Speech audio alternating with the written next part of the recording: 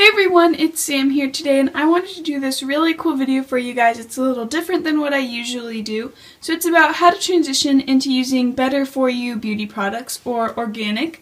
So basically I did a research report about a year ago in English and this is all the research I gathered along with some of my own knowledge and also some pictures and stuff. So if you find any one part interesting then feel free to pause it. So let's just get right into it. I used Prezi for this PowerPoint, so it's really cool looking. So let's get started. So here's one piece of information, and basically it's saying that our body is like a sponge and we absorb everything we put on it, and so it can absorb a lot of chemicals, and we have at least 10 different products that we use every day. So you want to actually be careful about what you're putting on your body because it actually can make a difference on the inside, and people think that it doesn't because it's on the outside, but it soaks in. So um, on refinery29.com, um, I learned that green products can eradicate irritation and sensitivity. So green products are basically organic, natural, good for the environment, anything like that. And it just is natural because they are gentler. So they are going to be less irritating and they're good for all types of skin and stuff. So it's good for sensitivity. Um, so my second step besides that knowledge that I just shared is to read the labels and know what to avoid and know what you don't want. And it, it varies between everyone, but here's the three that I look out for. First is phthalates. It's pronounced phthalates without the P. And basically, they're found in artificial fragrances and they are a class of hormone disruptor. And it's pretty crazy the stuff that they can put in our products. So I kind of directed this towards more of a teenage audience, so that's why I talk about hormone imbalances and stuff and asking masculine or, acting masculine or feminine, it's kind of exaggerated. Um, so another part of information that I found is that parabens have estrogenic activity and have been found in almost all breast cancer tumors, which I found really interesting. So I always, always look out for parabens and I don't get products that have parabens. And if a product is paraben free, oftentimes they'll put it on the front, so also look out for that. So here's a little um, graphic. And so my little summary is that it's cancer causing, which is crazy, and then also it's like feminine, and I just added that little um, exaggerated part that you're going to start acting girly from brushing your teeth with your uh, chemical toothpaste. Next is this that says fragrances are synthetic compounds and companies don't have to share the information of what's in the compound.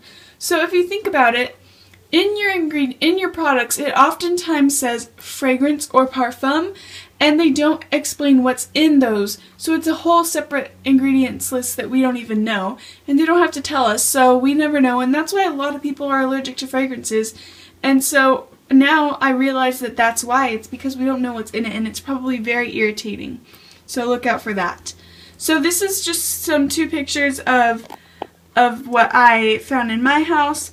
So I found gluten in one of mine, sulfate, fragrance, and the whole thing about saying that um, if you can't read it, then it's not good, that's not true because if you think about it, anything can have a chemical name. Cucumbers can become like cucumberous extract, and they can become really long names that no one knows, so don't assume that if they're long, it's bad. Just know what to look out for.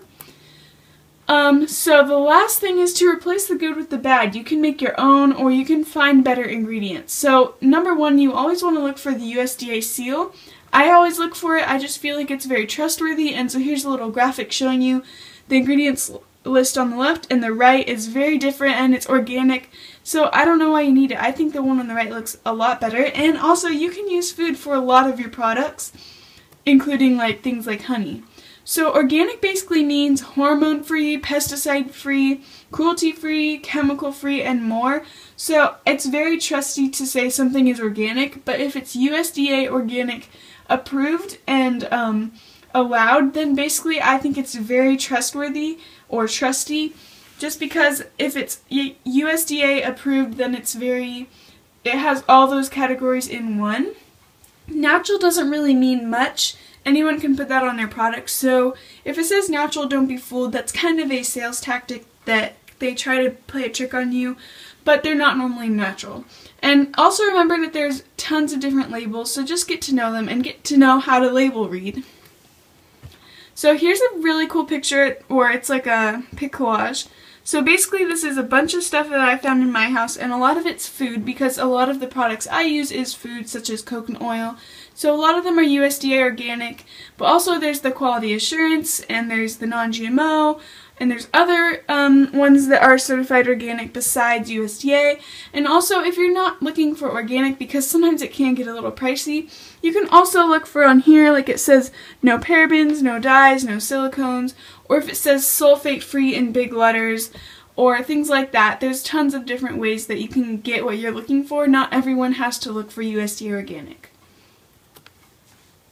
So, also I found this really cool um, long quote from a website from Alexandra Spunt on Good Magazine. So basically it just tells all these cool um, properties, so you might want to pause the video if you want to read it. But basically it's talking about baking soda, aloe vera gel, coconut oil, honey, and all the good things that they can do. And so uh, with that information, you can use those products for tons of different things. So what I use them for is, for example, baking soda. You can use it as an exfoliant in a face mask you can use it as a hair mask or a shampoo because it's very cleaning to the hair. You don't want to do it too often, so that's why I put a hair mask. And it's just very cleaning, so it cleans out all the products that you've been putting in and all the gunk that's built up. Also, baking soda is very absorbent to odor and it's absorbent in general, so it's good for deodorant and deodorizes and absorbs the sweat. And toothpaste, it's very good at whitening teeth and also absorb absorbing odors and stains. Next is aloe vera gel, so we all know sunburn treatment, that's the obvious one, but it's also a really, really great facial and moisturizer because it's so hydrating to the skin. And you can just use it straight from the plant. You don't need the bottled version that has fragrance added. Also, coconut oil is really good. This is kind of what's been pretty big the past few years is coconut oil, so it's a great moisturizer. I like to use it as a lotion. Um, you can use it with the baking soda and some peppermint to make toothpaste um, hair moisturizer or a mask. I just put a tiny bit in my hands after a shower to bring back some moisture into my hair or I put it in my hair before a shower and let it sit a little while so that my hair can seal the split ends and stuff like that. And also you can use it with some sugar as a hand and body scrub and a face moisturizer. And also is honey, which I love honey. It's kind of like a miracle product. And so you can use it as one single ingredient or as another ingredient in another recipe for facials, which I love just using plain honey as a facial or a spot treatment. And also as a lip gloss. It's moisturizing, you can use it in a lip scrub, but it looks like lip gloss and so you can use it for that and it tastes great. So in conclusion, watch out for parabens, phthalates, fragrance, and parfum. Look for the USDA seal or any other seals that you like anything other that you trust and then also just make your own DIY your own products that are better for you and you can read the ingredients and they're simple.